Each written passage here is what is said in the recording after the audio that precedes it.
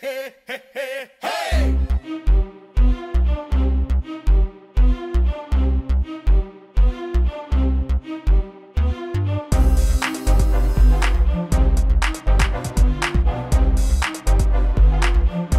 lama ditinggal Syahir Sheikh ke India, pedangdut Ayu Ting Ting mulai menemukan lagi semangat pasca kekasihnya itu kembali. Namun setelah kembalinya Syahir ke Indonesia, Sola ingin melepas rindu karena berpisah selama beberapa waktu. Ayu dan Syahir pun minggu kemarin langsung memilih pergi berdua ke Lombok, Nusa Tenggara Barat. Di pulau yang dikelilingi pantai dan eksotis itu, Syahir dan Ayu menghabiskan waktu liburan bersama sambil menikmati quality time sebagai pasangan kekasih. Namun sepulangnya dari Lombok, Ayu sendiri enggan menceritakan suasana liburannya bersama Syahir, kecuali hanya mengkonfirmasi bahwa kepergiannya bersama Syahir ke Lombok memang benar adanya. Lantas apa kata kedua orang tua Ayu melihat hubungan anaknya dengan Syahir yang semakin intens?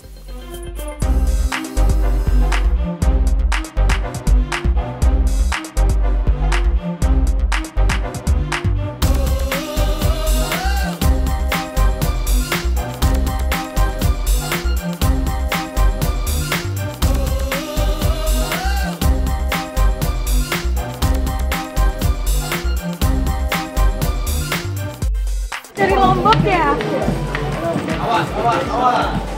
Ayo sama Sahir ke sana, ayo. Ya, emang sama siapa lagi? ya, ya kalian bisa lihat sendiri gimana nya gitu. Ibu mah nggak bisa ngomong apa-apa, cuman ibu ya sebagai orang tua apa pun keputusan Ayu ya ibu ikutin aja dia. Edo mau rezeki itu kan Allah semua yang rezeki. Kalaupun kita bilang orang yang udah mau lamaran mau apa pun kalau emang udah nggak jadi enggak itu kan kita nggak semua kita kan harus selalu semua sama Allah. Kalau emang Allah kendaki oh harus besok kamu dilamar besok kamu harus eh, inilah itulah kan. Gitu kita yang yang penting yang terbaik. Karena kan memang nggak boleh kita menutupi sesuatu apa pun, jangan sampai bukannya kembali lagi ke lalu ya gitu. Pokoknya ibu pengen semua orang juga tahu gitu. bahwa dan bahwa Ayu juga udah punya seorang misalnya begitu.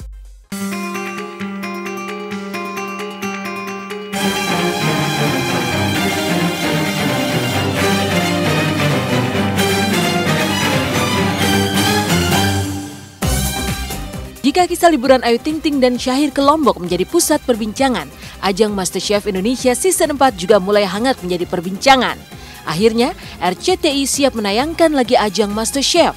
Namun ada yang berbeda pada ajang MasterChef kali ini, terutama jumlah juri yang biasanya tiga, kini justru berkurang menjadi dua orang, yaitu Matteo Guerinoni asal Italia dan juga Chef Arnold. Namun benarkah para juri baru tersebut justru lebih ketus dari juri-juri sebelumnya? kelihatan aja dulu sebelah kanan saya jurinya cuma dua itu yang berbeda orang yang galak sekali di dunia F&B banyak sekali ya bukan cuma saya doang saya memang orangnya memang karakter kalau juga kata galak sekali tapi saya nggak pernah disrespect orang artinya kalau saya uh, apa namanya marahin juga staff saya saya nggak pernah marahin mereka itu saya coba bangunin mereka punya karakter pernah banget dan sering banget ya Iya. pokoknya kayak masakannya terlalu asin lah atau kurang kurang asin ya. This is terrible. Kalau Sir Arnold, kalau Sir Arnold, eh Sir Matteo gitu.